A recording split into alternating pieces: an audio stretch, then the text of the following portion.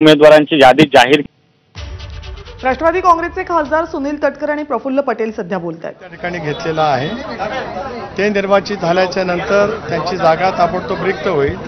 आणि ती जागा रिक्त झाल्याच्यानंतर मे महिन्यामध्ये आसपास निवडणूक लागेल त्यावेळेला इतर नावांचा विचार त्यावेळेला आम्ही करणार आहोत. चर्चा एकाच नावाची होती की आणखी काही आणि पक्ष आणि चिन्ह आपल्याला मिळालं असताना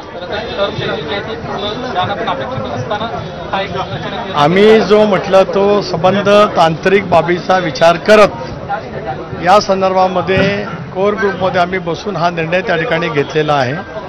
आणि त्याच्यामुळे ते शंभर टक्के त्या ठिकाणी निर्वाचित होणार आहेत. ते निर्वाचित झाल्याच्यानंतर त्यांचा काही दिवसातच किंवा ते निवडारची झाल्याच्यानंतर ताबडतोब त्या ठिकाणी राजीनामा देतील.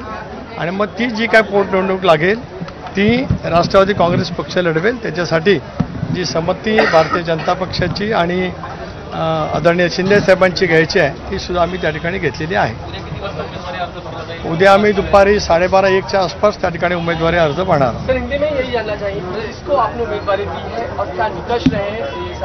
राष्ट्रवादी कांग्रेस पार्टी की तरफ से राज्यसभा के लिए हमने सांसद प्रफुल्ल पटेल जी का नाम हमने तय किया है। कल दोपहर को वो वहाँ पे उनका पर्चा भरेंगे। जो कुछ टेक्निकल उसके बारे बारे में जो कुछ अड़चनियाँ हैं कोर ग्रुप ने उसके बारे में सारे तफसील पे हमने सोचा है और वो सोचने के बाद हमने उनको उम्मीदवारी ज़ाहिर की है। कल डिस्कालिफिकेशन का भी मामला है कल फैसला आएगा। उस बारे में कितने आप आश्वस्त सकते हैं है? देखिए कल का तो आखिर का दिन है तो इसके लिए हम राह देख रहे हैं। विधानसभा के अध्यक्ष है उसके बारे में तय करेंगे। आमदार सर्वोच्च न्यायालयाने माननीय विधानसभा अध्यक्षांना पंधरा दिवसाची मुदतवाढ दिली होती. ती पंधरा फेब्रुवारीपर्यंत होती. पंधरा फेब्रुवारीला म्हणजे उद्या विधानसभा अध्यक्षांच्याकडनं निकाल अपेक्षित आहे.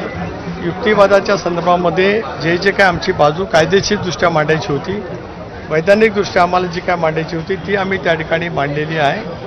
पाहूया आता उद्या विधानसभा अध्यक्ष या संदर्भात निकाल देतील.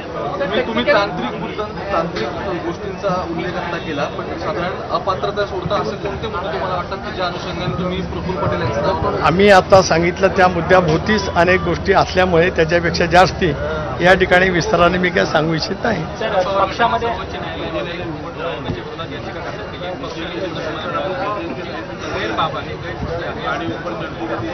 नाही स्वाभाविकच अशा पैसा सर्वोच्च न्यायालयामध्ये दाद मागली जाईल.